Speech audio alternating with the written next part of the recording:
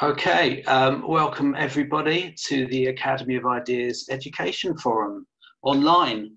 Um, my name is Harley Richardson. I um, hope you can all hear me. I'm one of the forum organisers, uh, but for my day job, I work in online education publishing. And I'm also the parent of a 15 year old who's currently attempting to study at home with, it has to be said, mixed results.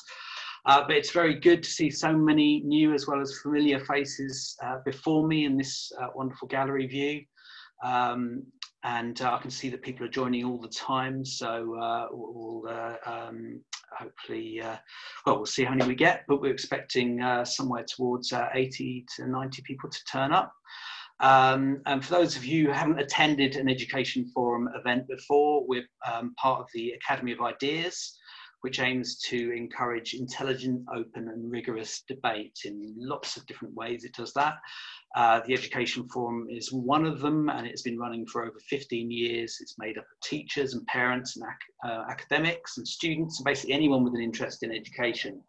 And we meet at least every half a term to get to grips, or at least try to get to grips with trends in education policy and practice in hopefully a collegiate fashion. Uh, we also organise a strand of debates at the Academy's annual Battle of Ideas Festival, and we have um, a monthly column in Teach Secondary magazine um, which you might want to check out. So we usually meet in person in central London, but that's not possible tonight for obvious reasons. Happily, however, it does mean we can welcome people from further afield who can't usually attend. I see we have at least one person dialing in from uh, Australia, where it's the middle of the night. So as this crisis is affecting people around the world, it will be great to hear some global perspectives. Uh, so I'll put everyone on mute for the moment, um, almost everyone. I can hear a few noises um, creeping in, but don't worry, there will be plenty of opportunity to speak during the next uh, 90 minutes or so. Uh, as you I think you all know, tonight's topic is digital pedagogy and the corona classroom. We're discussing this because with schools and um, colleges unceremoniously closing for many, for most students a few weeks ago, uh, um, teachers, pupils, and parents who effectively found themselves in the midst of a population wide experiment in online learning. Right now, it's an experiment without an end date, at least in the UK. So, one question we might want to consider is why has it taken a crisis for this to happen?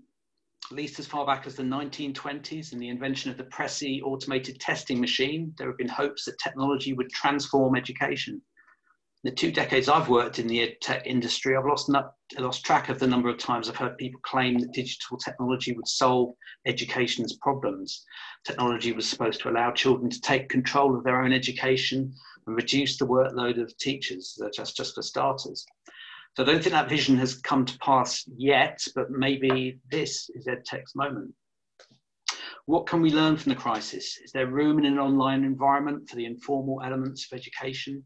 how are teachers and pupils adapting to the experience? And are there any innovations that we might want to preserve when we return to normal school life? So I'm hoping we'll hear about people's experiences, both good and bad. Let's see where the conversation takes us. Kick things off, we have two great speakers who'll get the discussion started. Firstly, we have Donald Clark, who is an EdTech entrepreneur with over 30 years in the online uh, learning experience in the online learning business. He's the CEO of several companies, including Wildfire and Cogbooks, but he's more than just a tech guy. Just this week, he completed an online series of 100 learning theorists in 100 days. Well worth checking out. I'll post the URL for his blog in the chat box in a minute. And secondly, we have Toby Marshall, who's a user of EdTech. Um, he teaches film studies and other subjects at schools and colleges in Essex and East London. He's a long-standing member of the Education Forum Committee, as well as co-producer of this session. So we're going to stick to our normal format as far as possible. That means Donald and Toby will both speak for five to seven minutes each, then we'll go out to the audience. Um, and I'll run through how we're going to take audience contributions then. If you hear a big clunk at any point, that may be my jerry-rigged video camera setup um, collapsing. Uh, this is an experiment for us at the Education Forum too, so please bear with us if there are any technical hiccups. So I'm just going to uh, see if I can um, take Donald off mute and uh, just bear with this while I remute everybody else.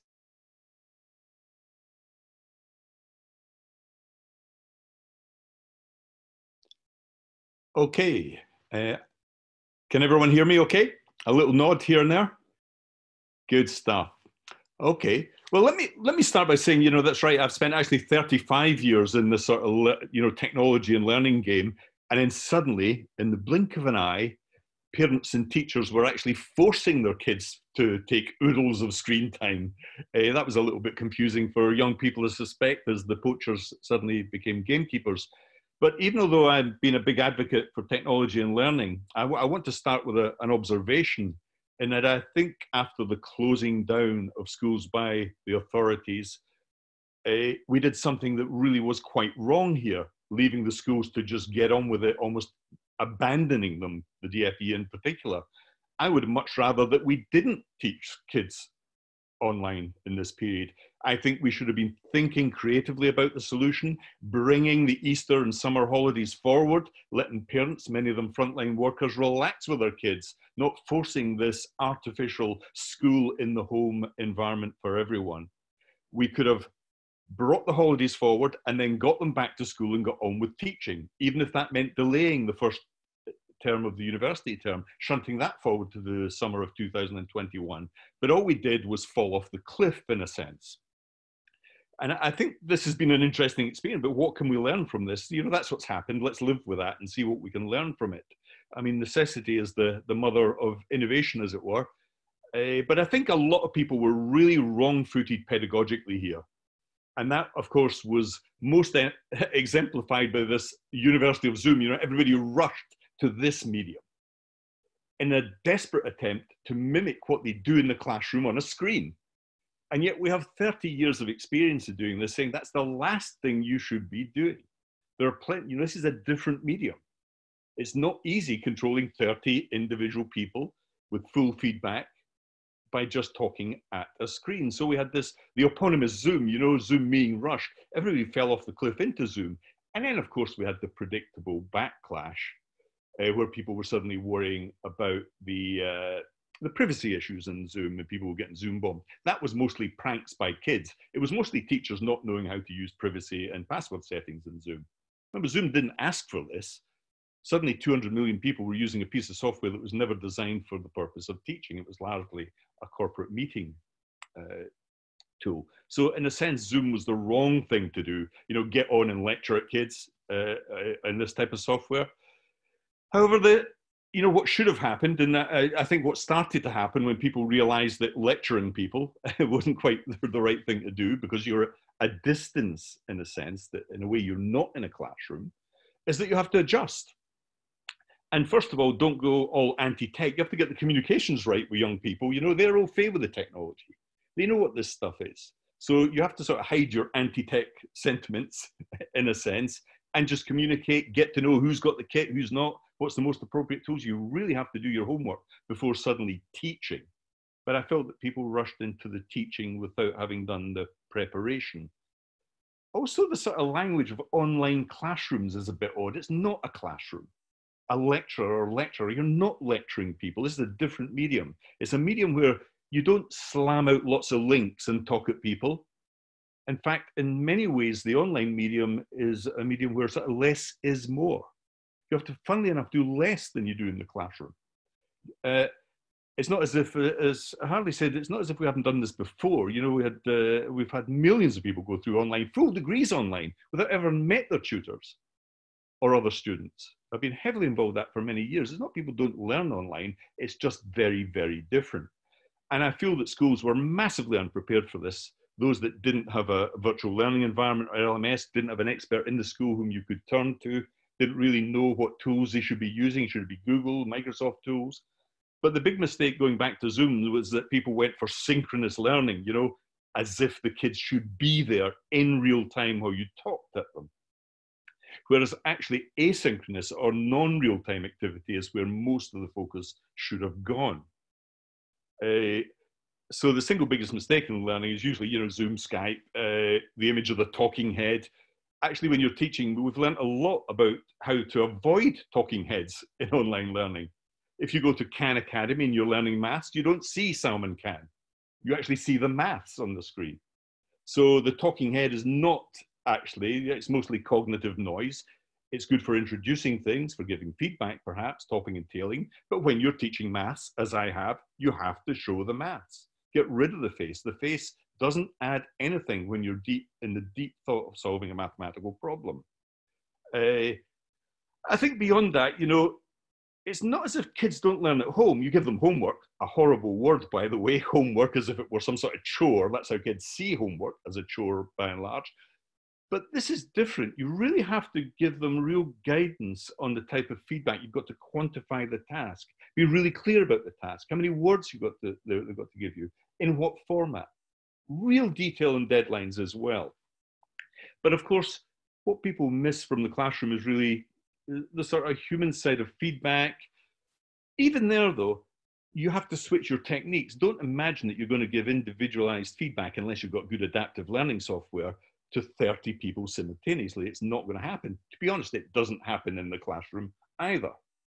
It never happens in a classroom. If you're teaching 30 kids maths, there's no way you're cognitively diagnosing 30 people in real time as you're teaching. But the switch towards high retention techniques, things like retrieval practice, space practice, can be done online in a way that they cannot be done in a classroom. If you change your whole pedagogy towards the affordances that online have to offer, then suddenly a new world opens up. Not the world of the classroom, but the world where online actually has some advantages over the classroom.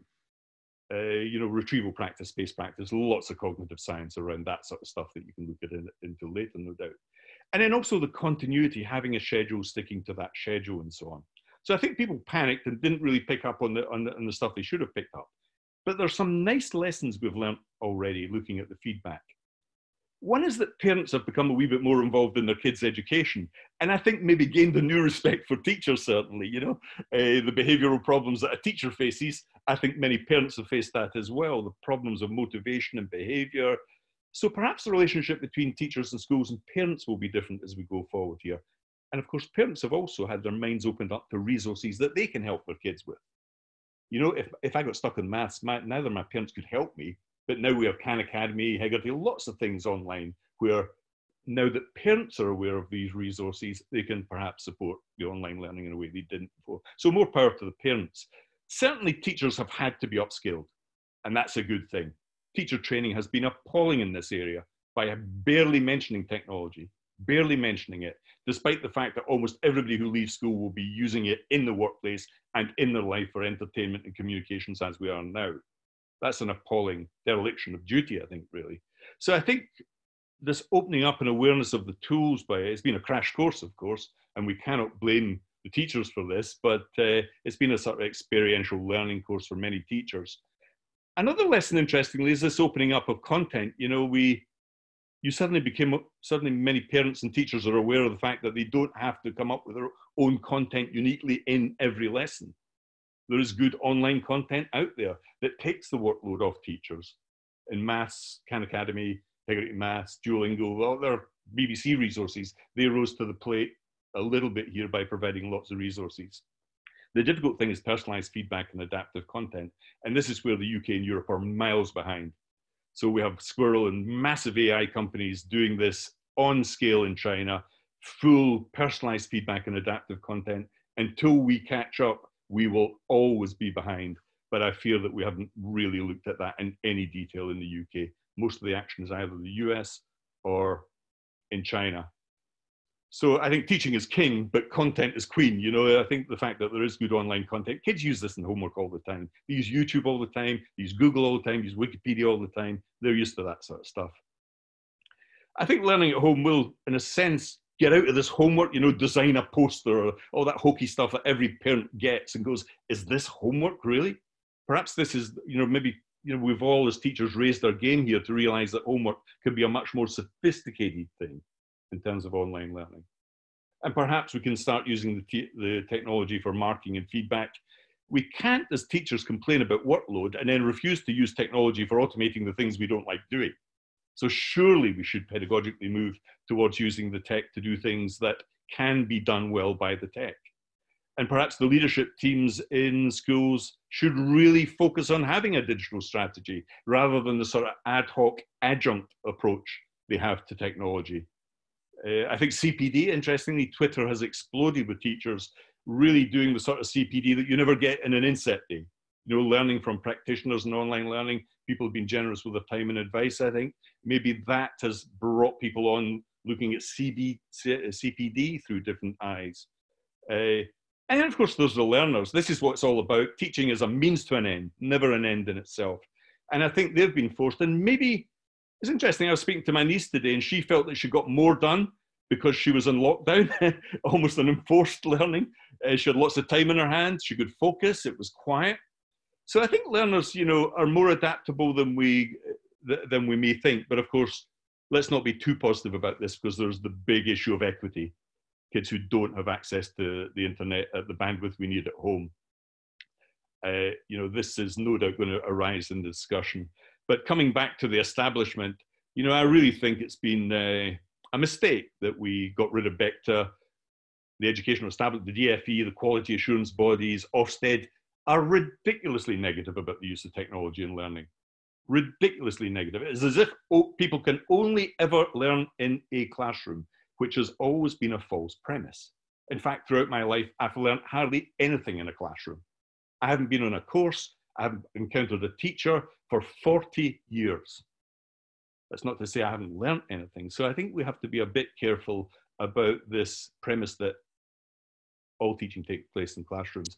We're clearly going to go forward with some sort of blend uh, uh, here where we'll have a, an increased respect for online learning. So I'll end there. I, I, should add one thing. I think much bigger changes will happen in higher education. I think there will be massive changes there just because of the fiscal pressure. But for schools, we'll all go back to school, but we'll have a new respect and a, a new approach that includes online learning as part of the mix. Great, thank you for that. And for those who don't know, BECTA, you mentioned BECTA, but BECTA was um, the British Educational uh, Communications Technology Agency. There's a Quango that was responsible for things like trying to get every um, every pupil in the country onto a learning platform, and that and they were shut down as one of the first acts of the coalition government in 2010-11, I think, as part of the bonfire of the Quangos. But uh, thanks for that. So, um, have schools been abandoned to online? Um, without enough preparation. Uh, so Toby, I'm going to now um, unmute you and it's uh, over to yourself. Hello, uh, Hello, everyone. Um, good evening. Uh, and uh, thank you, Donald, for that introduction. I thought it was most interesting. I think um, many, many um, areas of overlap um, in uh, our thinking. I think um, so. I, I, might be reinforcing some of those points you made. I think maybe the point of disagreement might be uh, not really disagreement, but a stress on um, uh, or a difference in the significance we attribute um, to the classroom. So that might be one thing to think about uh, as I'm presenting. So uh, I'm an A-level teacher. I've been teaching for 20 years in East London and Essex. Um, mostly I've taught film studies, um, but over the years I've turned my hand to other subjects, including media and um, sociology. Uh, my interest in online education probably arose from the space between those subjects. Um, but uh, I'm also I'm, I'm also an enthusiast and one of the first wave of home gamers. In fact, I'm so ancient um, that I can remember loading up games using basic commands and cassette tapes on my Commodore 64. I'll just see if anyone recognizes that. Some people do. Uh, so that's how long I've just been a kind of enthusiast a little bit, um, but, but not a programmer or any of those kinds of things. Um, so I do think, uh, so I won't be offering any technical um, or technological uh, answers to questions. Uh, and what I'm going to do is I'm just going to throw out three provocations um, to uh, get people thinking about this um, that derive from my teaching experience. And if I'm being a bit one-sided in this, that's just to um, stimulate um, the discussion. So my first provocation is IT cannot compensate for education. Uh, my second is uh, and I think Donald and I are in agreement on this. There is no such thing as an online classroom. Um, and my third point is that the home is not a school. Um, so uh, before I explain things, I just want to clarify a little bit of my mood.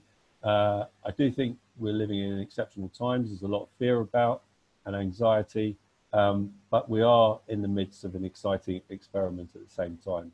Um, and I just think there's lots to learn and teachers are working very hard to make the best out of a very bad and challenging situation. Um, but as I said, there's much to learn and we should keep an open mind. Um, what is clear um, in my mind is that every day that schools are closed is a day lost to ignorance. Um, and in my thinking on this, I, I, owe great debt to the work of the sociologist uh, Michael Young, who argues persuasively, in my view, that schools are specialized social institutions um, that uniquely provide the next generation with access to what he calls powerful knowledge. Um, schools, he argues, do this best when they have strong institutional boundaries between themselves and the outside world, um, as boundaries enable specialization. Um, and I'm going to come back to the idea of boundaries um, at the end of my presentation.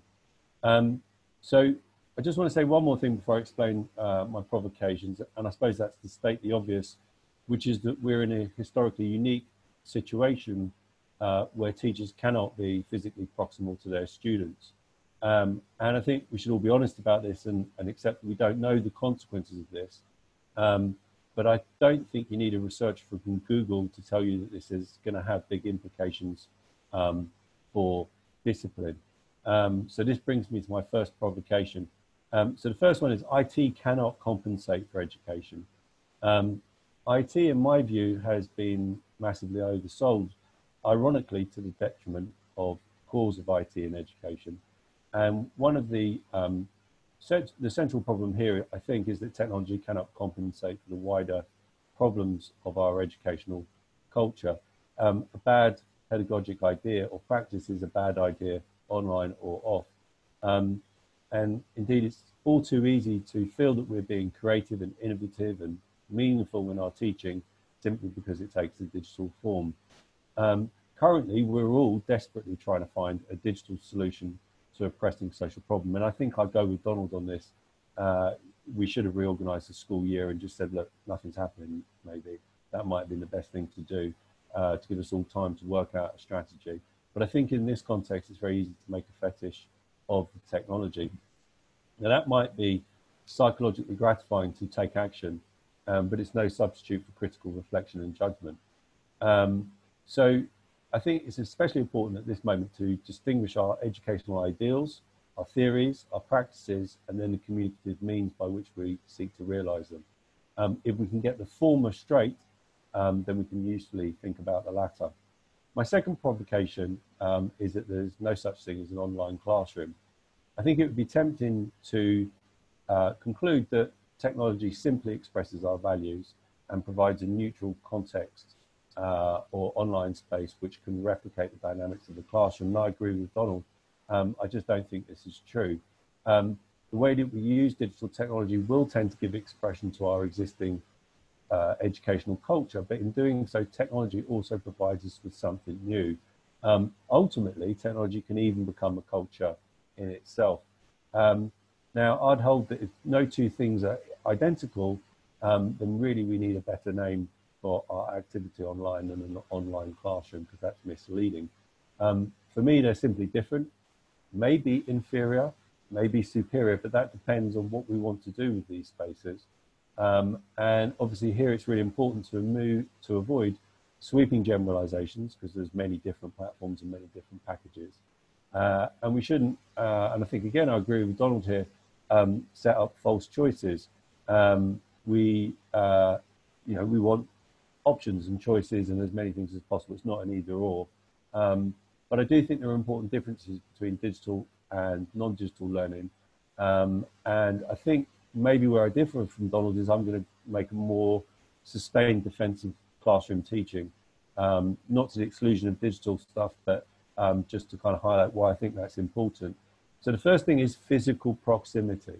Um, physical proximity is important as it encourages discipline um, and it also encourages intense engagement.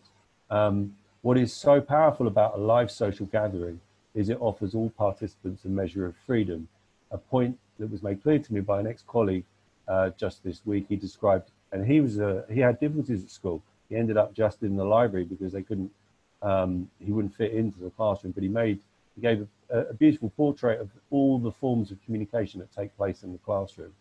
Um, you know, the notes being passed, the ironic gesture, the shrug of the shoulders. It's a very open and dynamic for me. Uh, community context, uh, community of context in which actually pupils ex exercise a high degree of agency, ir uh, irrespective of uh, teacher supervision. And as all teachers know, the authority of the teacher is earned um, and highly provisional rather than programmed. And at any one moment, the attention of the pupil or indeed the whole class can go its merry way. Um, in addition to this, the classroom is also semiotically rich and flexible with multiple pathways, channels, and associated signing forms. Of course, online classrooms, if we must use this term, can, replicate some of this, um, but they necessarily do so in a mediated and therefore controlled and controlling fashion. Um, consider this context. Harley, if I'm boring you, you can switch me off. Um, if, we were, if we were sitting right next to each other, you'd have to ask me very politely. So there's a very different situation uh, online and offline. Um, and I don't know, you know, maybe technology could um, be used in a different way, um, but it tends to have this programmed, channeled kind of set of pathways. Um, and uh, I think I prefer something a bit riotous, a bit more riotous anyway, but you know, I am teaching humanities subjects, and maybe that's part of what I do. Um, so my third provocation is a home is not school. Um, and this brings us back to the issue of boundaries. Um, here I'd like to look at Young's point about the school and college, but from a different angle. Schools and colleges are not the only agents of socialization, or indeed the most important, in my view. Um, families play the primary role in socializing the young. And I feel strongly that educators should respect the autonomy of families, just as we expect parents to respect our professional judgment and um, autonomy. Um, this point is important as many parents I've been speaking to, who particularly have younger kids, um, are facing a landslide of expectations with regards to um, homeschooling. As such, some schools have, in my view, crossed over a boundary between school um, and the home. I remember an ex-colleague of mine telling me that they had politely informed their child's school that they would be no longer doing any work set um, for their child at home. This was a few years ago. Uh, and I remember at the time, um, she actually was my boss, uh, thinking, God, this is a bit crackers. She's kind of mad, radical feminist. Um, but having had three kids um, and uh, coming out the other side of that, I, I actually have come to admire my colleague's stance of just saying, my home is my home. I do this in my home. I do what I want to do in my home. Um, so I think home is home, school is school, teachers teach, parents parents. Uh, both ought to uphold each other's work. Uh, it, it's not uh, a competition between the two. It's a, ideally adults are united in um, this thing, but they should be respectful of the division of labour there. Home, like the school, is a specialised social context, which, like the school, um, seeks to nurture the next generation. However, life within the home is quite unlike the school. It is more spontaneous, it's convivial, it's unconditionally effective, uh, affectionate sometimes. Um, it's directionless in character, it's pointless, there's digressions, there's whimsy, um, narrative, it's not analysis. Um, teachers, in particular those in leadership positions, need to take care, in my view, that they don't just try and reconfigure the home as an adjunct of the classroom. Uh, so my conclusion is, um, IT cannot compensate for education. There is no such thing as an online classroom. Home is not the school, um, but my key point um, is we need to keep an open mind and we've all got a great deal to learn in a difficult but actually quite exciting situation. Thank you, Toby. Um, your description of the sort of difference between class and home just reminded me, I'm actually a bit of a veteran of Zoom in um, online context. Um, in the company I used to work for, uh, we used to have meetings, um, all lots of meetings every week, regular meetings with people around the world, where people had to sort of um, give reports on whatever they were doing, and what people pretty much I know I'm not the only one used to do was was uh, look, have the camera on, look like they're in the meeting, zone out and get on with some actual work, and be listening out for your name to be called so you could come to attention and do what you needed to give your thing, and then zone out of it again. So it wasn't real, a real meeting that it appeared to be. But anyway, so um, thank you both for excellent introductions. Um, we're now on to the discussion part of the the meeting. Um, I need to say this is not a Q and A at the Education Forum. We do things slightly differently. Um, it's an opportunity for people to respond to the speakers, to raise points or questions of their own, um, and really just to have a public discussion about this um, with uh, what Toby and Donald have said as a start, starting point. Um, we want to get as many people in as we can, uh, so you know um, being succinct is always good, but uh, we'll, what we'll do is we'll take several people uh, before we come back for, to the speakers um, and you can make uh, comments or questions, as I say. As you may have noticed, we are recording this session to put up on the AOI website. Um, but we do want people to speak as freely as they can. So do drop us a note afterwards if there's anything you'd like edited out of your own contributions. So um, here's how to contribute. Um, if you would like to speak, you can raise your hand virtually. I can see that at least one, two people have done that already um, by going to the participants but button um, and clicking raise hand. Now I can't tell you exactly where to find it because it varies from uh, computer to computer, but if you look for the participants button, you should have it somewhere and then you should have uh, the option raise hand under there. Um, and then I'll be able to see that you've raised your hand virtually. And when it comes to your turn, I'll let you know and I'll unmute you so that you can talk. And if you'd like to briefly say whether you're a teacher or parent or what your interest in this topic is, that's all, all to the good. Um, and uh, I noticed we've already got people talking in the comment in the chat box as well. So feel free to uh, make comments there. So I've got first in my list, I've got uh, Kate Moorcock Abley. I'm going to unmute Kate. Um, over to you. Hello, um, I'm Kate, and I'm uh, an early years teacher and a parent teenager. Um, early years um, it's kinetic learning. Um, it, it's based on the relationship very closely with the teacher, an extreme example, if you like. And we're doing a lot of recordings just so that they can see the teacher's face because um, I really take on board the points people have made about discipline um, or just, you know, in, and engagement, which are um, in, inextricably linked um, in the early years.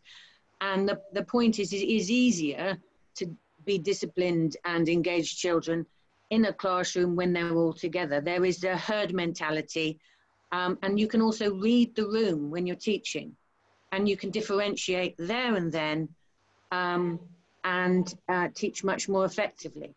Um, so everything we're doing is um, in on these wonderful online platforms, doing beautiful videos, linking them to all sorts of extracurricular activities, blah, blah, blah, blah. Um, it's not the same as being in the class. Um, and hopefully that will um, evolve as we are able to build up a closer relationship with the parents and it's not fair on the parents. Parents are the parents. Many of them are working from home, for goodness sake. Um, and it does, I think it ruins the relationship um, because parenting isn't about saying um, between six and seven you will blah, blah, blah. It is about saying, why don't you blah, blah, blah when you've done blah, blah, blah, uh, if you are interested. And it's a, it ruins your relationship with your child um, but speaking as uh, the mother of a teenager who's um, just in his first year of A levels, yeah, um, it's fine. Um, they get content in various forms. They have phone calls with their teacher um, to um, overcome the problem that many children face, which is that in order to do online learning in a household with, say, two or three children, you need two or three decent devices and brilliant um, internet, um, which does um, exclude and uh, um, um, it's not fair on, on quite a lot of kids. It, it actually exacerbates the already um, existing divisions. so I'm not uh, a big a big fan, I suppose, is the answer. I do think it will be great fun for all sorts of different homeworks once the schools reopen. Um, but it doesn't seem to appeal uh, either in early years or, or in secondary. But they need each other to talk to as well. There's no, there's no, um, uh, what do you call it? Um, the zone of proximal development, as they say, is social. It's done between kids with a nod and a wink as they get older. But yeah, sorry, I've stopped talking. Thank, thank you, that's great. Uh, and it's worth pointing out, if it's not already been pointed out already, that obviously a lot of the systems that are being used were ones that are already being used by, typically more by secondary or upper primary for setting of homework. And I, have been wondering, looking at how it's worked with my, our own son and what his school is doing, about how much teachers have kind of got just transplanted that to rather than a couple of hours a day to uh, being a sort of a, attempting to fill it out to the, the, full school day and whether that actually is appropriate at all. So we've got coming up, we've got next Alistair Donald and then Susan Parlaw, but uh, Alistair, you're unmuted. Okay, thanks, and thanks, Donald and Toby. That was uh, both re both really interesting presentations and lots to think about. Um, I think uh, Toby, I'm I'm kind of naturally quite sympathetic to to much of the stuff that you were saying, but um, we're in this situation just now. Uh, these tools are being uh, forced on us to some extent. They're giving us new opportunities to try and work things out. So I suppose my my sort of instinct is um, should we be a bit more open to exploring the opportunities that they present? And so I, I, I on a couple of things that you were talking about so the proximity thing as, as part of the you know when you were saying there's no such thing as a classroom. I mean surely yeah i, mean yes i get it that that kind of um, having physical proximity is is a much easier way to interact. But surely part of the establishing of authority is an intellectual authority as well. And we shouldn't diminish that aspect of it. And and um, by looking to establish a greater intellectual authority, then maybe perhaps in, in these circumstances we can start to overcome some of the limitations of not having the, the physical proximity. And the second thing is, is just in terms of the, the situation in the home. I mean, is it, you know, lots of people work from home and it's a, I mean, I hate it. I, I mean, I'd, I'd, much rather be in an office, but in a situation where I've got to work from home, then what you do is you go about creating a situation where you can get by. So you shut yourself off in a room, you measure out the time, you, you do all, put in place all these artificial boundaries that can best um, uh, create a situation where you know you, you're at work. So is it not possible that in, in a situation like that, that we can also start to do this in an, in an educational sense as well? So I, I suppose my question is, are, are we just, are you giving in a little bit too easily? Because when, you know, when Kate says things like um, you, you, you, need, uh, you need certain sorts of devices or you need, uh, um, a certain amount of certain conditions, then I mean, if, if, if you go to school to physical school you don't you don't accept that the school won't buy textbooks. You say give us some more money to buy proper textbooks. So give us some more money to buy proper devices. I mean are we just not being a bit too easy to give into this i suppose is my question. Thanks. Um, so next we have uh, oh they've just vanished off the list. Um, we had a couple of people had their hands up but they've now taken them down um, so uh, Joe Nutt, I think, would like to go next, and then Joan Fogel. So Joe, Joe you are unmuted. Uh, hi, Harley, everybody. Uh, right, what interests me about this is I think people haven't quite grasped the scale of what's going on behind the scenes. Uh, you know, you know, several people said already that uh, the sort of pressure that technology businesses and organizations have put on education for years and the agenda that's behind all that. Well, the coronavirus has triggered an extraordinary level of really rapid activity behind the scenes.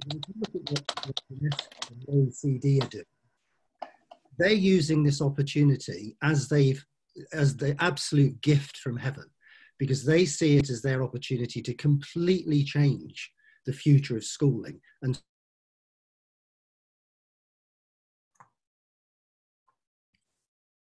know, this is a fantastic opportunity and you will not stop the momentum. And that's what really interests me. And if you look at the organizations that are involved, they're all there. They're all the big names you'd expect. Uh, and they've been energized like no other time. Uh, in all the time I've worked in the industry, I've seen all sorts of initiatives. I've not seen anything like this. Uh, it's a, a really a serious, I think it's a serious question. And it's not being widely aired. That's my worry.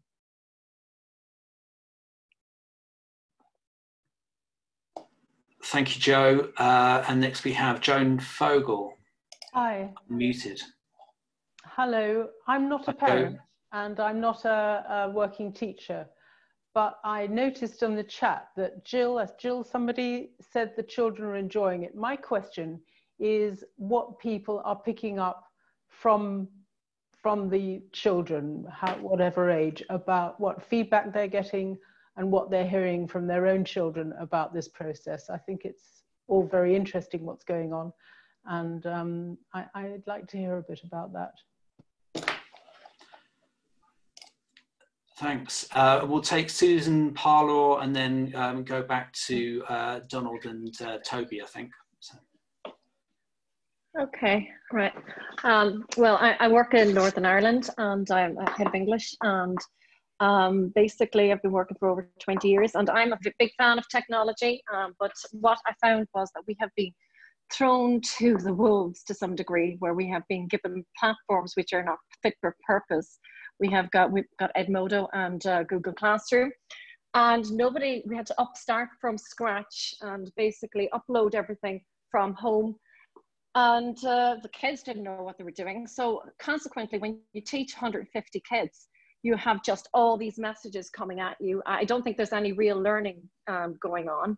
I think that well, what we have in, in these, they, I, I, do agree that it's not a classroom, certainly isn't a classroom, is um, forums where I can send out work, written work, uh, comes back to me, and I get just a tsunami of work to be marked online. Um, so I, I just think for at this particular time that no learning is taking place.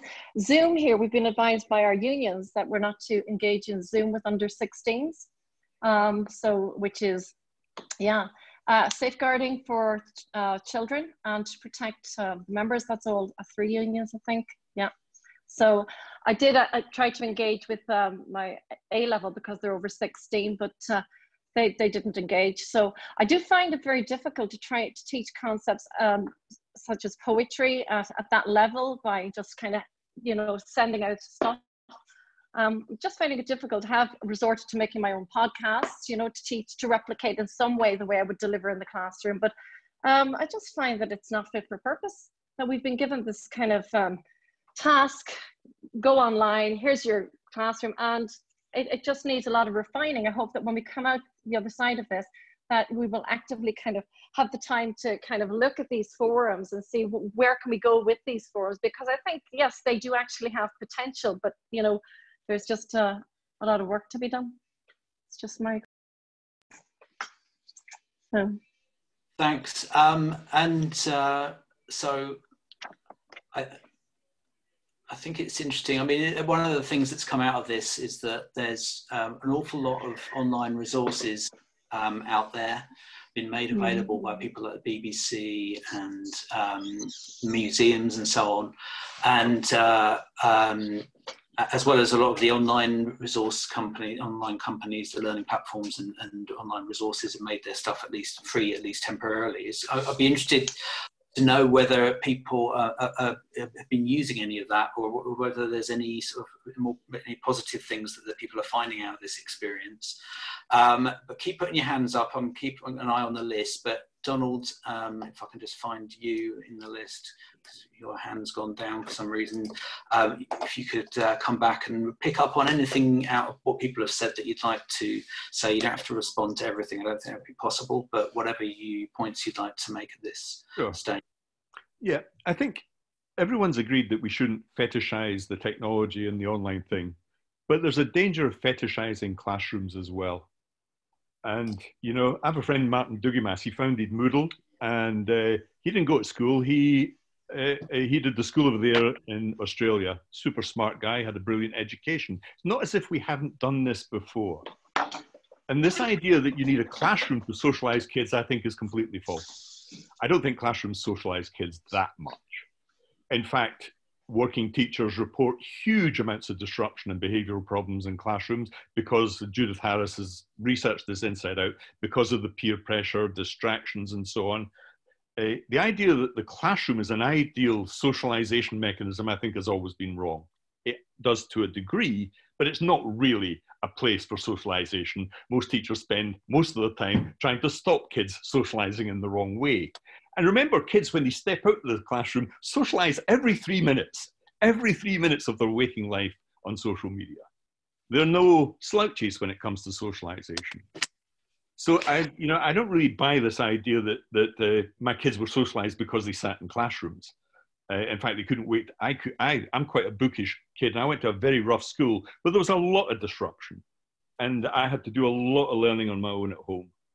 And throughout my life, I've done a lot of learning in the in you know in the quiet of my own home and at two big universities, but really not in lectures, but in the quiet of the library and so on and so forth.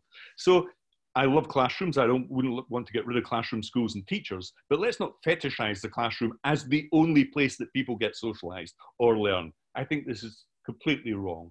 And I go back to some of those comments about the family being an important context for this as well. I, I didn't learn character and morals from my teachers. I learned it from my parents and my relatives. And so I think there's a great danger here that we think schools do everything. I don't think they do everything in a sense. You know, we we have to be a bit wary of idolizing what is essentially a Victorian model, which we've stuck to for a long, long time. And there's interesting research. If you look back to pre-classroom era, if you look at the research by Bloom, for example, where he just took kids, same learning, one-to-one tuition, outperforms classroom kids by two standard deviations. So there are alternatives here. And I think the idea that the excuse for classrooms is classrooms do wonderful things, but socializing kids is not one of them, I feel.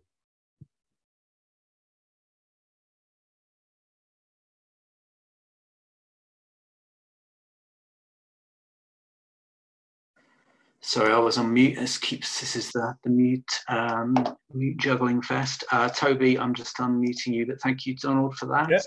Um, there you go.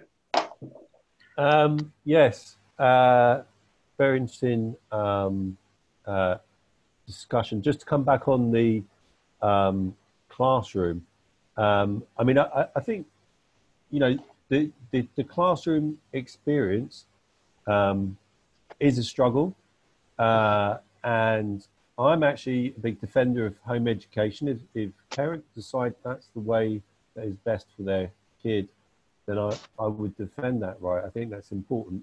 And there are autodidacts, there are true mavericks that just don't fit into the system.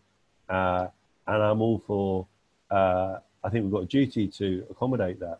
Um, but I actually think the normal pathway, the typical pathway is through the classroom. And I think the struggle is the project, um, the contestation, the argument.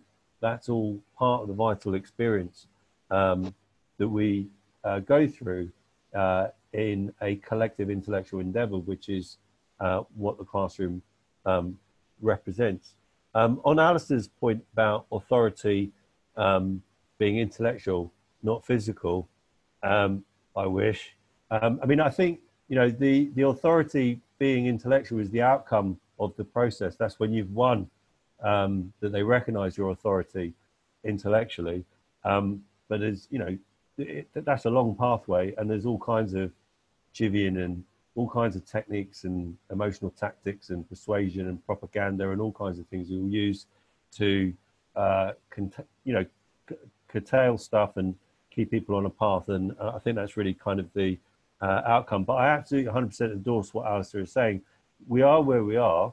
Um, technology offers a great uh, potential way of um, responding to this situation it would be professionally negligent of us to not do anything because, as I said in my introduction, every day that we don't teach is a victory for ignorance. Um, you know, schools were uh, the welfare state, etc. Ignorance is one of the great evils, um, and um, that's why schools exist, and that's why people spend a lot of tax money on schools. So we have to try and do something. And on, on the positive, I've I've had um, some some great experiences with my students. I have to say, it's the more engaged, the already more engaged, more uh, committed students. Um, so we've been watching films on the iPlayer and then discussing them on Teams. So we did uh, 12 Monkeys, um, and uh, a Singaporean film about an executioner. And we had a fantastic uh, discussion on Teams after watching it, and, and, and that worked really well. And in fact, I kind of concluded that my more able students like me remotely at a distance. Um, so they, they seem to be getting a lot out of the uh, experience. So I, I don't think we should be anti-tech. Uh, I do think we should be flexible. Um, I do think there's a, a, a, typical pathway, which is the collective enterprise of the live uh, classroom. Um, but uh, yeah, we've got to grab the ball by the horns and do something. Um, we don't know how long this is last. I mean, I, it might be a scare story on um, AOL. They love to put these mad banner headlines on AOL. When I check my email, they're, they're talking about three waves of this. So this could go on for a long, long time. What are we going to do? Just not educate kids for the next year? I mean, when are we going to get a vaccine? I mean, we may never get a vaccine. We can't just assume there's going to be a vaccine. So, uh, you know, we have to respond as professionals in the situation we are. I just think a little bit of um, uh, respect for, you know, for parents. I, am not saying that teachers aren't doing that. I just think uh, I've I've spoken to a lot of parents that are really feeling the stress, and I endorse what Kate said, which is there is an entirely different set of moral principles that apply uh, and discursive practices when you're a parent um, than when you're a teacher. I mean, as a teacher, I've got a target. You know, I'm getting something out of the situation. I've got a concept which I want them to walk away understanding. Um, uh, you know, by the end of the session, as a parent, um, you know, who knows? It's spontaneous, isn't it? We, you know, just go with the flow at home. Um, and so I'm just, I, I'm just raising that as an issue. Yeah, and we don't. Um, you're quite right. We don't know when schools will go back over here. People, I don't know if people noticed though that Denmark um, they've started a phased uh, reopening of um, primary schools and nurseries uh, today. In fact, but we'll see whether that sets a trend or not. So we've got a list of people now building up who'd like to speak. Um, so next we have Sarah Hume, and after that Claire Fox and Derek Robertson. Uh, Sarah, you're unmuted. Hi, can, can you hear me? Yeah, thanks. Yeah. Hi, um, lovely to see everyone. I'm really enjoying the discussion. Um, I'm coming at it from multiple perspectives, I suppose. So, number one, as a parent of three young children, so this is two of them at primary school and one two year old, and also working in higher education and trying to manage all of the demands that that brings. And it is uncharted territory and very, very uncertain. One of the things that I'm interested in um, as a lecturer and a researcher is the ideas of uncertainty that surround us in our practice and how we either um, make use of them to be creative or how we fall into certainty all the time. And I was interested in what you were saying, Toby, about um, schools and home being institutionalized they're institutionalized and they have they're very strongly boundaried. And i think that one of the things that we have um, we're kind of in danger of at the moment is falling into um, the kind of the more certain practices. So the online classroom as soon as the um, university shut down and stopped teaching the, my colleagues and i instantly thought how can we lecture online? How can we do how can we deliver the content online? How can we do what we're doing in the same way but online and I'm just reflecting now as to whether that's actually helpful or unhelpful because when we're in these kind of uncertain spaces or liminal spaces, we seek the certainty, which is what we already know and what we've already gone before with. But this is all merging now. We're in such an uncertain space that I kind of I'm wondering how we how do we create a new space in that? How do we use that space, the uncertain space, to create something a third way. So it's not home it's not school or it's not home it's not it's not university but something that merges between. So my reality at the moment often is doing a tutorial or doing something online and my two year old comes in and needs to sit on my knee you know and it's just these kind of that that is so unexpected and so that my ideas of who i am and what identity i have at that time is so permeable that I'm wondering how we can use these ideas to move forward into something that creates something new rather than just falling into what we knew were the certainties beforehand, which was home on one side and school on the other, or university on one side and um, home on the other. So I think it's it's this idea of the, the creativity and these kind of discussions are so helpful, I think. But how, how do we move forward with the new thinking without being sucked back into the old ways that, that we do when we're trying to seek certainty?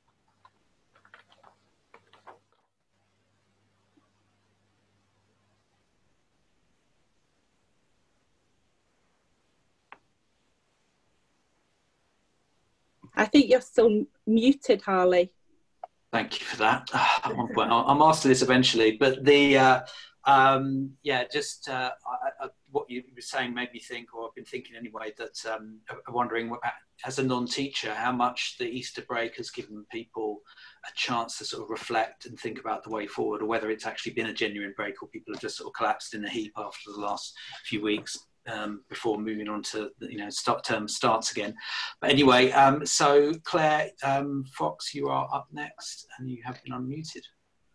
Uh, thank you. Um, very interesting discussion. Um, I was reflecting on what uh, Susan, I think Susan Parler said uh, from Northern Ireland um, about how so much of this is just not fit for purpose and trying to sort, you know, make it work when it's not really the same and the reason I wanted to stress it's not the same is because colleagues um, at the BOI charity have been uh, very usefully launched Debating Matters, the sixth form debating competition using Zoom. Great success because it's interactive and the students themselves are able to participate and so on. Uh, people are clamoring to have more and more. And it, and it gets to this point where people start saying, oh, we could do everything via Zoom as though somehow we should make a virtue out of what is actually a desperate situation. And the reason I raise that is because, of course, it's not the same.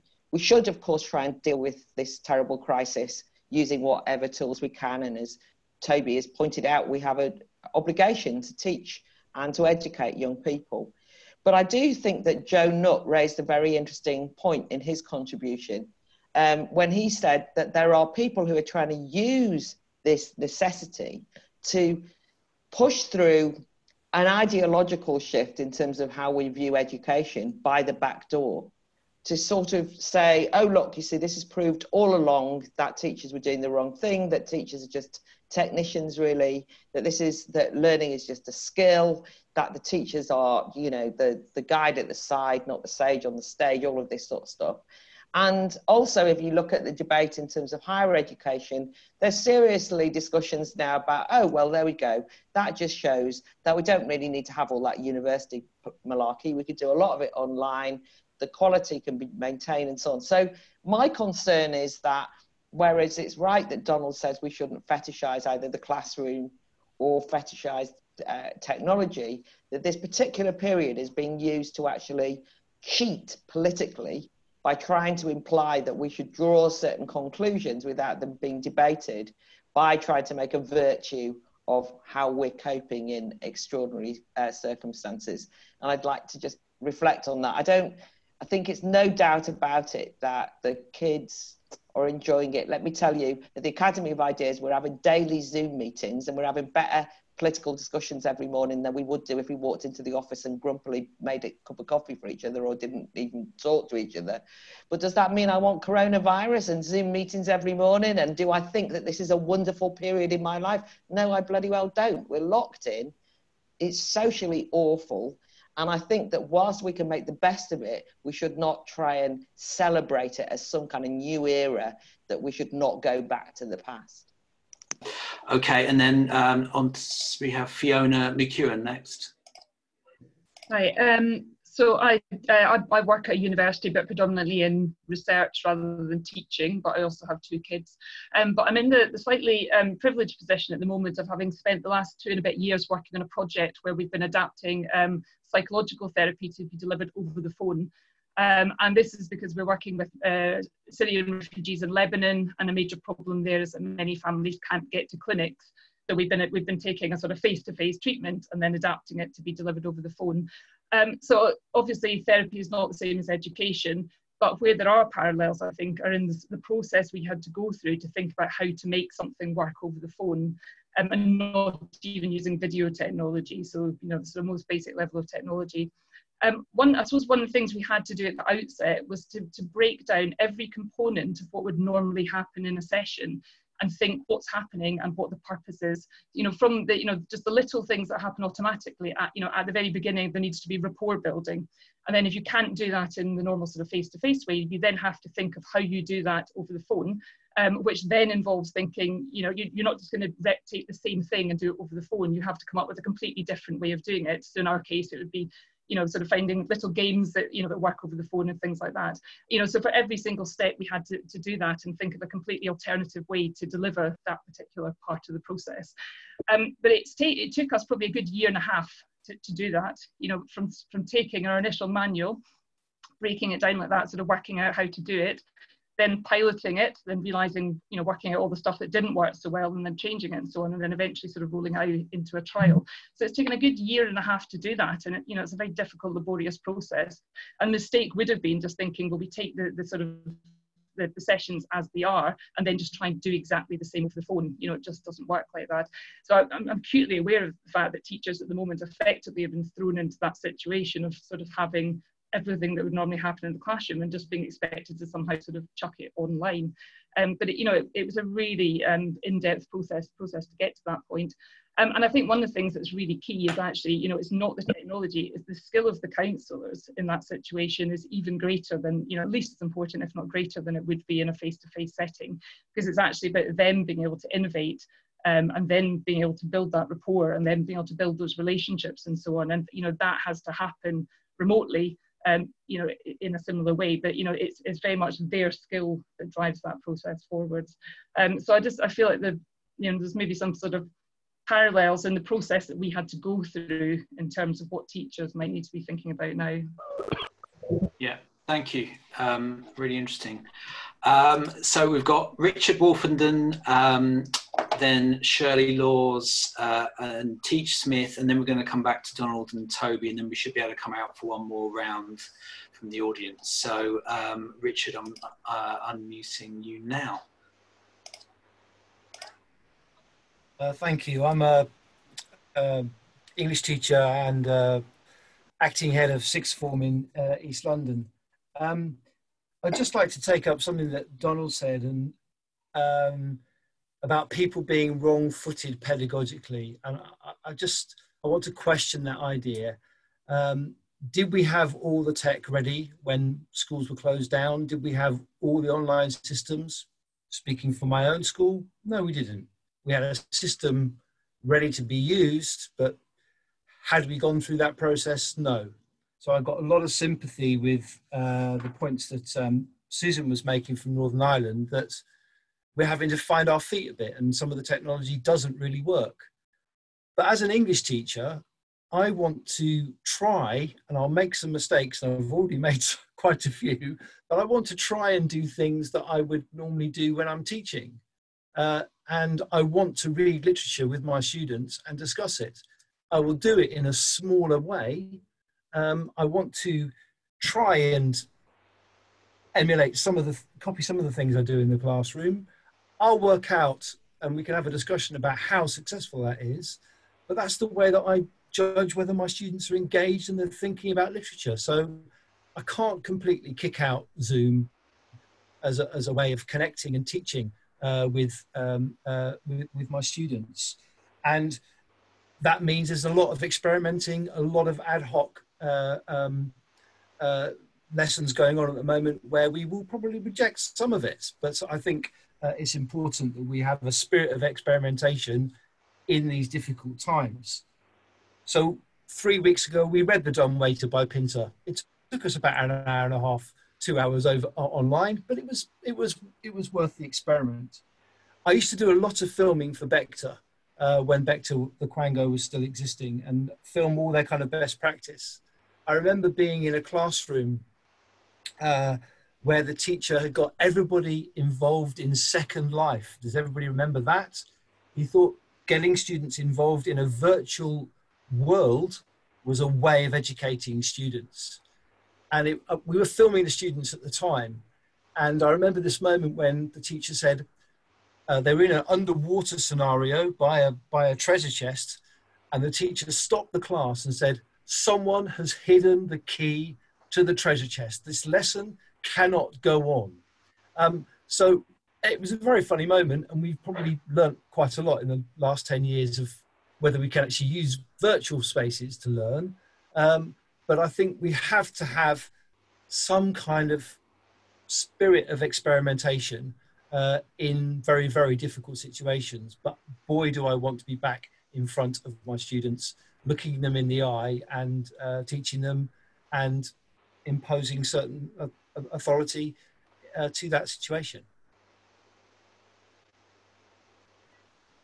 Thanks, Richard. Um, so Shirley, uh, I should say that um, people, I don't know if people have spotted, but there's a lot of um, good comments been made on the chat, which are worth looking at. Um, Donald, uh, you've made a lot of interesting ones, but I think you made them directly to me. I'm not sure if that was intentional, but they, they all seem like suitable for a public audience.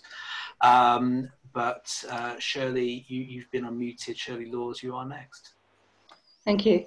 Um, yeah, I, I, I agree very much with a lot of what people have been saying. And I think we just need to be really clear about how this has been thrust upon teachers without, with very little time to either find out how to re, you know, to readjust and, and um, I have to say repackage probably.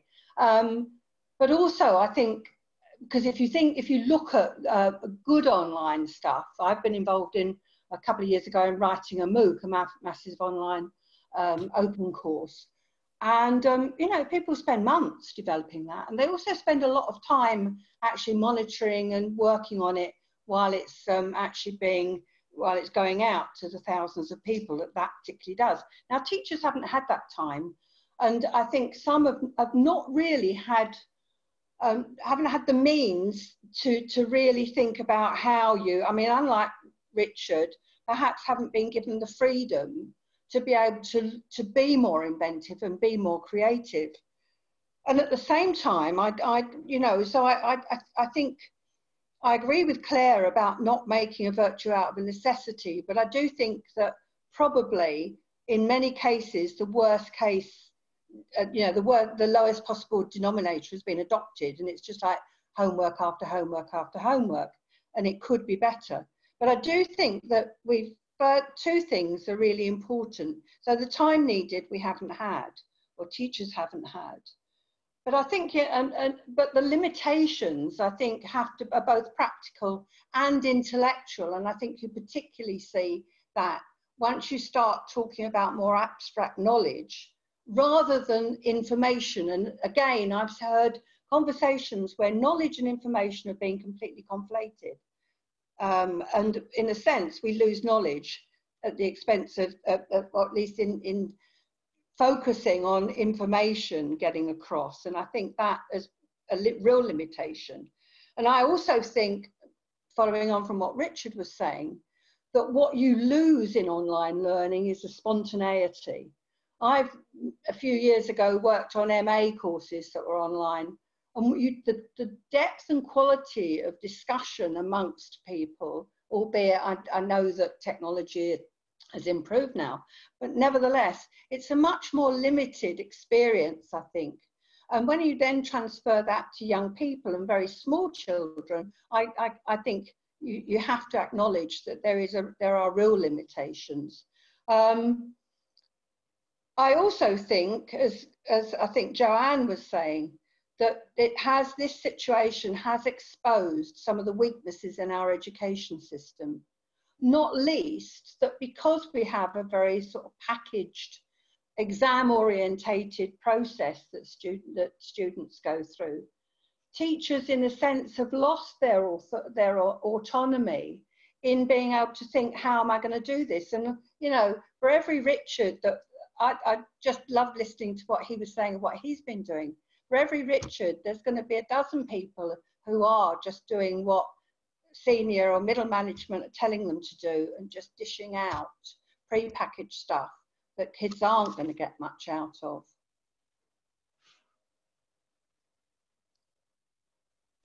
So uh, your point about um, you know teachers not having the time to be creative it's, it's, it's interesting. There's a few stars um, emerging out of this um, situation. So I don't know if people know um, or have heard about Holly King Maud Mand, I think it is Holly King Mand, uh, lady who um, did sort of uh, started filming her little English uh, lessons and putting them on Facebook. And she had a few few hundred followers a few weeks ago. She's now got um, thirty thousand as of today. So it'd be interesting to see if those people stay, um, stick around uh, when we get back. I just, while I think of it, I just wanted to come back on something Claire said earlier when you were um, when you were talking, Claire, about um, you know the people who've had a sort of ideological view of technical ed tech for a long time, hoping that they've um, sort of won the argument by uh, by by dint of circumstance. Um, what I've actually been a little bit surprised that most of the usual suspects who who make all the arguments about um, ed education being wrong and it, and the answer to everything is personalised learning and and uh, 24 hour uh, 24 7 learning and and and so on um, they've kind of gone a bit quiet um, as far as I've seen. Uh, and I don't know if that's because they think they've won the argument or they're a bit worried they might lose it because of the, the, the hatred coming um, their way or the way of the technology at the moment. But anyway, that's just an observation. Um, be interested to hear what other people think. So we're just going to do uh, Teach Smith um, and then we'll go back to Donald and Toby and then we'll come out again. Uh, teach, if that's Hello. your name, you have. Hello, is that all right? Yeah. Am I Yeah. my volleyball? Uh, yes, sorry. My name my name's Dan Smith. Uh, so it's just my email address. Uh, I'm a secondary school English teacher um, in Redhill. Um, just quite, uh, I'll rattle for you a few, a few things. Um, just wanted to pick up on a few things briefly. Yes, um, we were thrown into it far too uh, rushed. Um, the expectation was just to replicate the classroom um, online, which was wrong. Um, fortunately, my head of department was excellent and she kind of sort of stood firm in the task that we set, which I think are much more suitable. Uh, basically, we set um, some reading um, at the start of the week and um, some scaffolding through questioning. Um, and then they have to respond to that in written form by the end of the week. So they have the whole week to do that. it has been positive, still not 100% participation, but it has been positive. A couple of other things to say. Um, secondly, uh, this technology thing, um, there's a few issues I think with why uh, perhaps it hasn't been taken up. Um, I think there was a kind of rush to technology um, at the start of my teaching career. Uh, been a teacher for 10 years, um, and it was kind of technology for technology's sake. Um, that doesn't mean it's a bad thing. I just think that teachers became jaded and they became cynical uh, because this technology was thrown at them to say, this is good because it's technology. That does not mean it's a bad thing. Uh, I want to give an example of good technology. Um, for example, our year sevens are working with a piece of software called Bedrock. Um, they do vocabulary lessons each week. It's um, uh, tuned, it's, it's, it's adapted to their ability level, and it's absolutely fantastic. But it took months. It took months for the student to get used to the technology, to that for that to become a habit and a routine. And it took uh, teachers as guidance and mentors um, to work them through that. It can't just be immediate. Um, finally, I'd just like to say it's a real shame. Um, there's been some quite negative representations of the classroom. Um, certainly, there is problems with disruption and behaviour in this in this country. I mean, it's a serious issue. However, that doesn't mean that um, we should give up on the classroom. And the classroom works is absolutely fantastic. You're talking about schools like Michaela, Bedford, Bedford Free School, um, and, and, and if I may say, my own classroom. You know, I've had breakthroughs with students um, that I just life transforming. You know, and, and that happened because of the classroom. That because, because building relationships with with me and with their peers um, painstakingly over months. Um, so I think that there is a place for technology, but let's not hollow out the classroom. Let's not say, well, there's behavior problems and we're on lockdown anyway. What you know, the, the classroom can be so valuable. The behavior thing is a separate cultural issue, I think, and it needs addressing. But that's not let's not say just because there's cultural issues that we should somehow hollow out the classroom because it can be a transformative space. Thank you for that. So um, we are back now with uh, Donald. If you'd like to pick up on uh, anything that's been said um, or indeed typed, uh, go for it. An interesting theme has emerged in the debate, a very good debate, which is, you know, over one side we have these, uh, I think, a mythical group of ed tech people who hate classrooms, want to shut down all schools, and are in it for the money. And over here, there's a very virtuous group of people who want to defend classrooms and hate tech. In actual fact, I don't think either of those two groups is representative of us as a whole. I've, I've been in this industry for 35 years. I don't, I literally know no one who wants to close down schools and classrooms. No one. Steve Jobs was fanatically all for schools, didn't allow tech into the hands of his kids. And no one says hollow out or get rid of classrooms. But, but there is a sense in which if you even criticize anything that happens in a classroom, you're a sort of tech corporate ogre. and I think that's a theme that's emerged here a little bit, to be honest. You know, I'm all for classrooms, I'm all for schools, but I don't think you should censor people just because they think that classrooms are not the best place to socialize kids, for example. Uh, and that there are real problems with behavior and so on and so forth. I think the, the guy from Redhill, I think you're right. We need a balance here. And most people, I would say, sensibly come down the middle. I think Joe's been on about this for years. And I think Claire also, you, you, you can't just demonize everybody in working in tech as if they want to destroy schools. Hardly any of them do. In fact, many of them want to help uh, uh, uh, very generously trying to help teachers do better, taking workload off them, additive rather than destructive in terms of the schools thing. I mean, technology has been a massive boon for people. I mean, in those kids with disabilities, for example, you know, who would do without technology if you have learning, if you have hearing difficulties, uh, sight difficulties, and so, so forth. In my life, I've seen the democratization of education in the third world and higher education. Every year, kids who never even met another student on their course or their tutor, in tears at the graduation ceremonies they come along to. We have to get away from this idea that being in a classroom is always a necessary condition for learning. That's the only criticism. It's not. There are plenty of other contexts in which people do learn here. Uh, no one's saying close the classroom down. Uh, no one's saying that, but we are saying let's think innovatively about improving or do things that you cannot do in a classroom the personalized learning is very, very difficult in classrooms. And perhaps there is room for both here. That's what people are asking for here. But there's a deep anti-corporate, anti-tech thing in the teacher community. And there's, you know, that's what people are saying. And then there's a deep anti-tech. Uh, uh, you know, there's an assumed anti-schools, anti-classroom thing in the tech community. I don't think that's absolute. That's true. Actually, we're all people. Most of us have been parents. Most of us actually taught uh, young kids. So I, I, my fear here is that we just dichotomize this. That, um, thank you, Donald. And uh, you just reminded me, I've been doing a lot of reading about history of education and particularly the uh, Victorian era of schools when they were really starting to take shape, the modern schools starting to take shape. At that point, a lot of the schools, they did the teaching in the morning and in the afternoon, they did the other stuff, which was much more open-ended. And maybe there's an opportunity, maybe, you know, rethink about schools in that way, but that's a big question. Um, so, uh, Toby Marshall, um, you have been unmuted. Please give us your thoughts.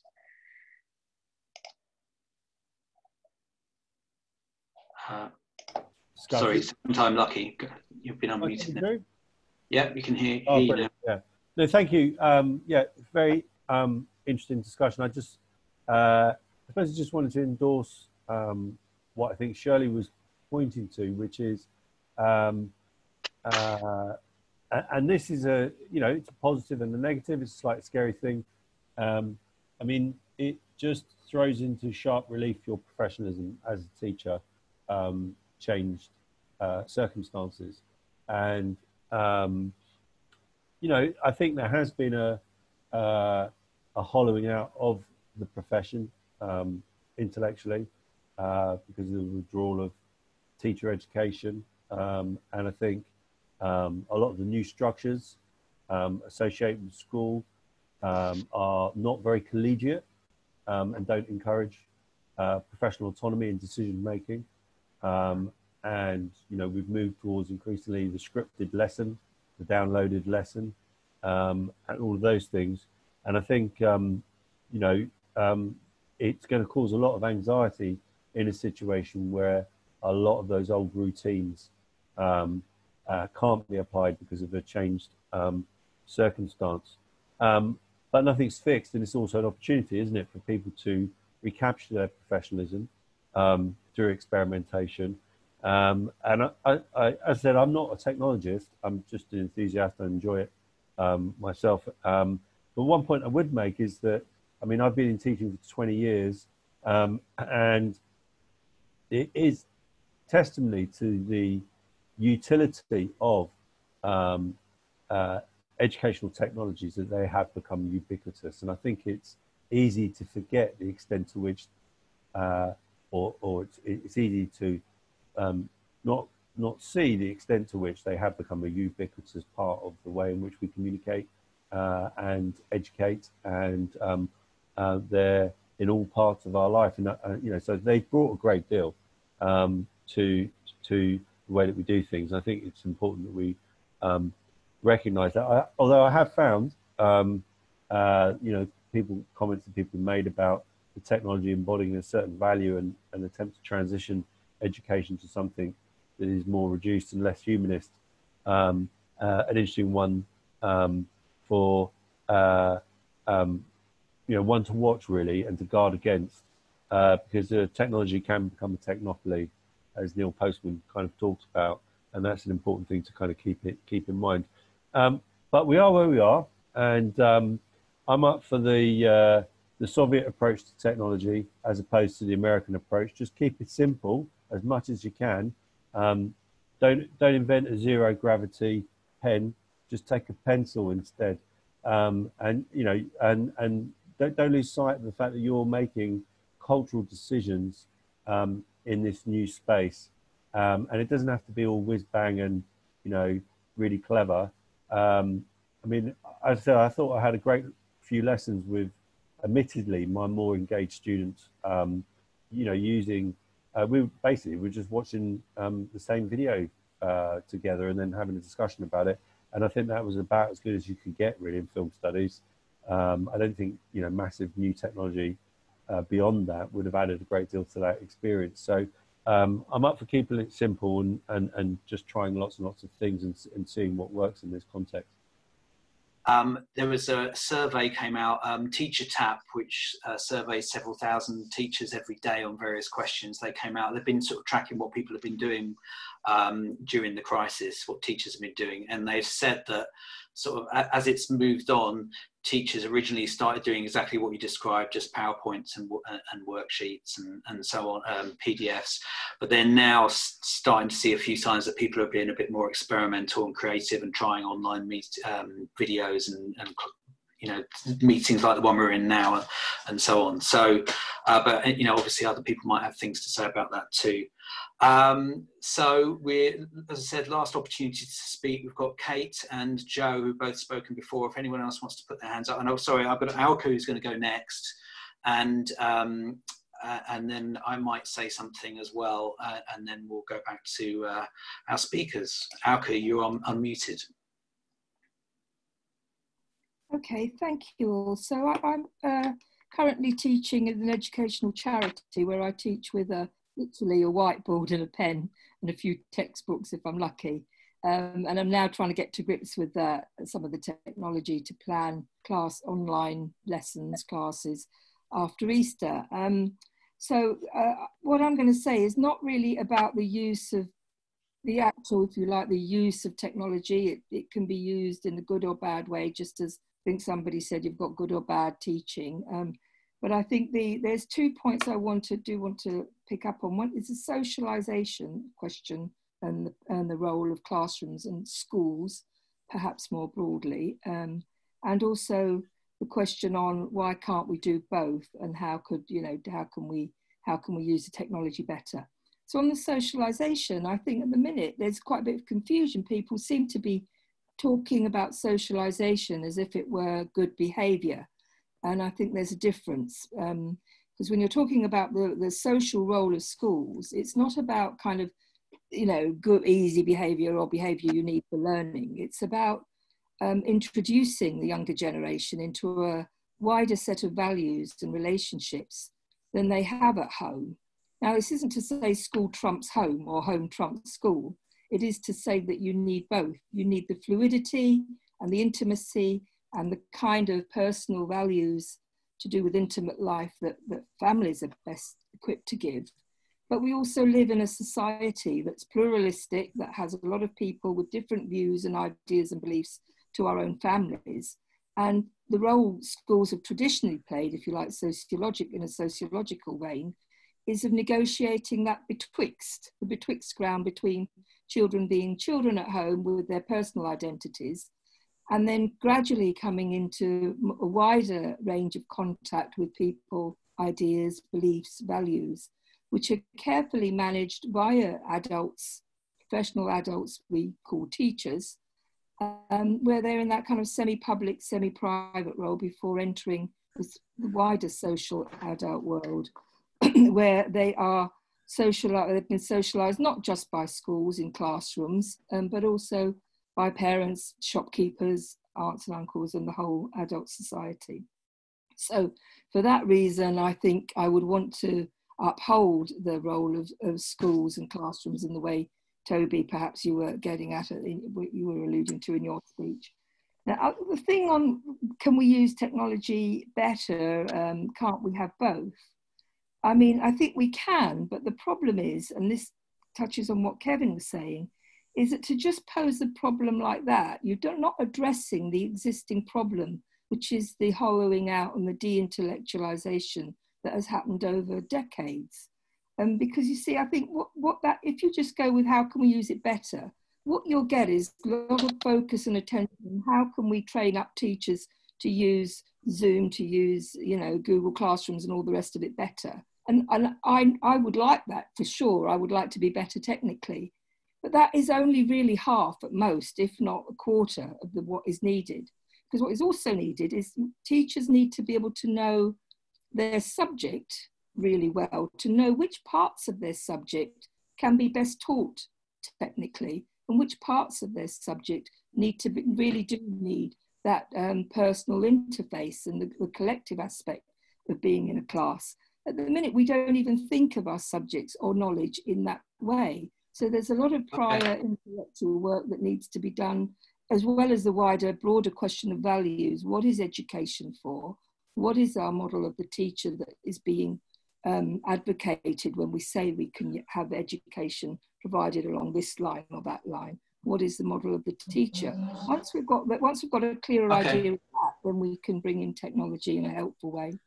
Okay, thanks. Okay, so the last few minutes, so we've got Kate and Joe. If you can be quite quick with you, um, especially as you've already spoken, I'm going to say something brief, and then we've got Ian. Hopefully, we'll have time for just to finish things off before to uh, Donald and Toby. Uh, so, uh, Kate, over to you. Well, Alka was uh, made a made the point much more brilliantly than I could. I just think that, that schools are a bridge between the private and the public, but they are neither. And we do need that space because they are only children and they need a place to be able to um, learn how to be grown-ups and that is part of it. But I, my, I've got two questions. The first is, um, are people finding um, that they are having to uh, teach the parents because we're having to do little notes about things so that it's um, the reason why I'm doing all these things with my hands is because I'm teaching reverse sweep or whatever it may be. Um, so are people finding that? And is that right? Should they have to do that? Because there is a division of labor and they're, you know, they could be plumbers or lawyers or whatever they are. And the second thing is, is there, are there subject differences? So some subjects, um, it's kind of alluding to what um, Alka was saying about which bits of content, but there must be some subjects that are better suited. Yeah. Um, so, language, language is, is notoriously one that, and maths are two that have always been, uh, people have generally made work quite well with online, but it'd be interesting to hear what people are doing now. Joe, thanks for that. Joe, um, quickly from you. Yeah, very, yeah, very briefly. I think, you know, I think what Kevin said was absolutely spot on uh, I just really reiterate the, the sort of point I made at the beginning. Uh, you know, the last couple of weeks, uh, people have been approaching me who haven't spoken to me in years, and uh, the the ups, the sort of amount of energy that's been put into this by big and powerful organizations and influential organizations i haven't seen anything like this since you know i left the classroom uh, and and really they they are only interested in the technology and the kinds of coalitions they formed are remarkable you know look at they, some of these organizations that are coming together have not been together before uh, and they're all the they're all the you know the kind of people you'd expect. The World Bank has just released millions of dollars for for uh, promoting technology projects that they've just found out of the back of a cupboard, you know, in the last week. So there's a big change here that I haven't seen before, and I would really just stress that. I think it, it, it's different. Okay, thank you. Um, and uh, I'm just going to say a couple very quick couple things about. Um, well, one is EdTech and one is a parent. So from my experience of EdTech, we used to be very, we used to do uh, quite simply videos and activities for use in the classroom. Um, very proud of what we did. Uh, but it always amazed us when we went into the classroom that we'd see that teachers had done stuff with it that we never expected. And often we'd take that stuff and then put it back into the product. Um, another thing we learned when we first uh, we always wanted them to be using we loved it. We wanted them to be using it all the time every lesson etc and when we got a research team the first thing they discovered was that actually teachers would be using it once or twice a week. And as far as they were concerned they thought that was great uh, it wasn't enough for us, but actually, from the teacher's point of view, um, they were using it completely appropriately and they were very happy with it. So um, there's a difference, maybe, of a view between the ed tech people and the people, the, the, the people in the classroom. Um, and then as a parent, just to say, one of the things about um, online, we did a debate, um, the Battle of Ideas, about uh, technology versus textbooks a couple of years ago. A point was made, stuck in my mind, uh, that uh, one thing about textbooks is they're very physical. You can see what see them, you know exactly what you've got with them. And as parents, the things we've found most difficult about this whole experience is having no clue about what it is that our son has got to do because every teacher uses the technology in a slightly different way fair enough. But it's um, it's very slippery and difficult to get a sense of. So anyway, that's my points. And then Ian, you're the last one we're going to hear from before we go back to the speakers. Uh, if I can unmute you. There you go. Okay, thanks. Um, a quick point, really. Um, it seemed to me that this would have been a good opportunity to um, put some expectation on the learners and, and decide what we expect of them. Uh, and when this lockdown happened, it occurred to me that um, this would be a great opportunity for students, particularly secondary school age, but younger too, um, to do some independent reading. Um, it seemed to me that if we were a nation of readers, if we, if if if that was something that was embedded in the education system, um, it it would have solved a lot of problems. It would have aided a lot of learning, um, and I think it, I think this is is an opportunity to reflect on that a bit. That um, we don't know how long this is going to last, but in, in, as far as it does last, the more young people are reading, I think the better off they're going to be in their education, because I think when they're working at home, their independence is pretty crucial, and that's that's reading is one way in which you can be independent as a learner. Thank you. Great, great, thank you. Um, so Donald and Toby, last, uh, just very quick, final summit killer point that you want to make in response to anything that's been said or typed this evening. Donald, you're first.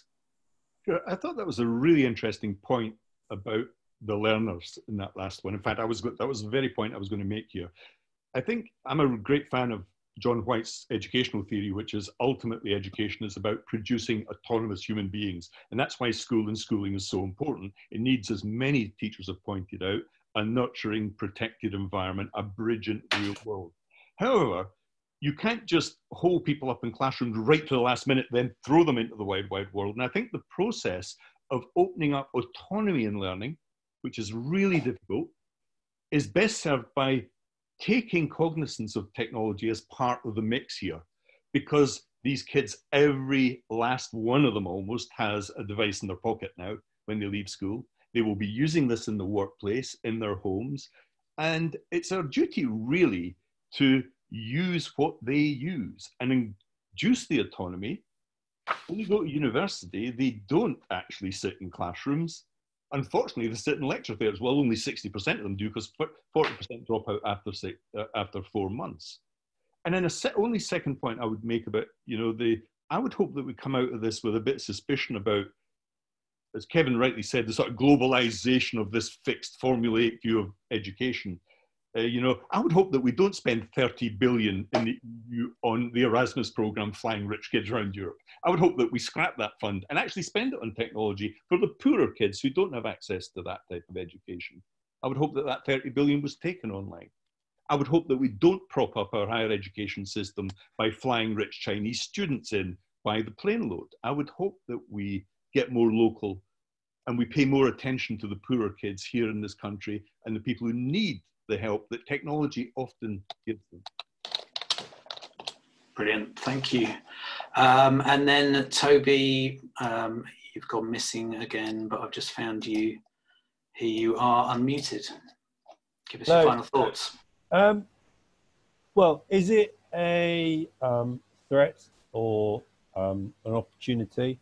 Um, I, I, think we do have to be mindful of um, what Joe has been saying, um, and you know, just keep on our guard. Those of us who want to defend a uh, knowledge-centric, humanist um, education, uh, because a, a, a, crisis is an opportunity to um, bypass all kinds of um, discussions that would ordinarily um, happen. Um, but I think it's also an opportunity for us as teachers to show what we're made of and to demonstrate our purpose and uh, to make clear, um, you know, why society pays our wages. So I think, you know, that's an opportunity as well. Uh, and, I'm, and I'm positive about that. And um, I'd like to leave on a, on, on a positive note. So I've just Googled uplifting quotes for times of apocalypse. Um, and this has come, come up. So I'll read you this. I like this. Um, quote, um, and if anyone can guess who it is, that would be great. Faced with crisis, the man of character falls back on himself. He imposes his own stamp of action, takes responsibility for it, and makes it his own. Anybody guess who that is? Charles de Gaulle. There we go. Excellent. Um, okay, George, just before we thank our speakers, um, everybody, I'm just going to make a couple of announcements, um, very short ones. Fact, I'm going to bring, um, hopefully, if I can do this, bring uh, something back on screen just uh, as a visual aid. Um, so uh, there you hopefully go. Um, so yeah, so hope you found this session interesting, enjoyable. It's never ideal, as we know, but um, but uh, hopefully we've kind of made it work. Um, if you'd like to know about future Education Forum events, please do sign up to our mailing list, which you can do by dropping us a line at education at Academy of Ideas www.ecc.org.uk. Now, um, we don't often arrive at an answer in these discussions, uh, and tonight I think it's no different. Um, I'm going to sit um, down and read through all the chat comments straight after I've done this. Uh, there's a lot been going on there, but we hope we have stimulated lots of productive thought um, that may inspire you as, then, then uh, as we go back into the new term. So normally at this point we would all head down the pub to continue the discussion, but as that's not possible, feel free to post any thoughts to our Facebook group, uh, perhaps with a glass of whiskey in your hand. Uh, so keep an eye out for the recording, which will be going up on the website soon. Um, in the meantime, I'm just going to take everyone off mute uh, and thank everyone for coming. So please, uh, thanks to you all for coming and please show your appreciation for our speakers.